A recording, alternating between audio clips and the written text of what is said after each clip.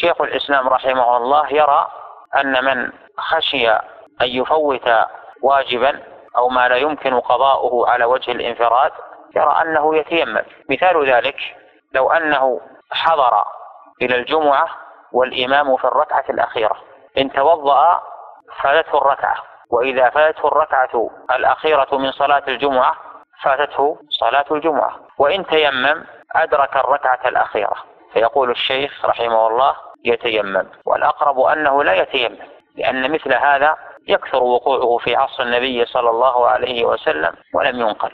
والأصل أن الماء هو المقدم وقد قال تعالى فلم تجدوا ماء فتيمموا وهذا واجد للماء. حتى لو فاتته صلاة الجمعة فهناك بديل لها عند فواتها وهي صلاة الظهر.